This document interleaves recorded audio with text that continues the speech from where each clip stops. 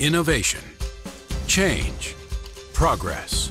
These are the ideals and goals that drive societies and economies around the world. Operations research and analytics are literally transforming the world before our eyes.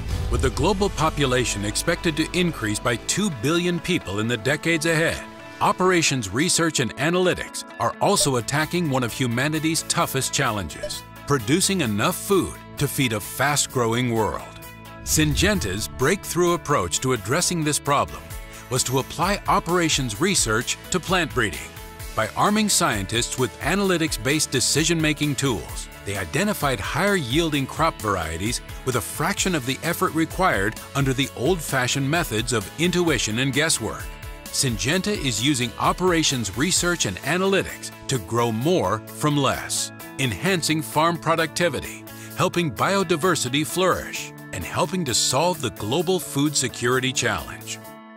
The Franz Edelman Award is the world's most prestigious recognition for achievement in operations research and analytics. Every year, operations research and analytics professionals from around the world gather to compete and celebrate the incredible development and contributions of those who have reached an unprecedented level of excellence.